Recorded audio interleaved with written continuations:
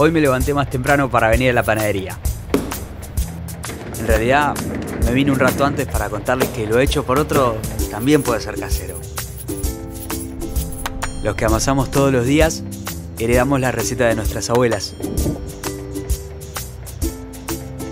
Su sabiduría es uno de nuestros ingredientes. En cada pastelito, en cada pasta frola, en cada factura y, en cada rosca también. Usamos la misma materia prima que nuestra nona. Y además ponemos todo lo que nos enseñó. Después de todo, esta es mi panadería. Pero también es mi casa.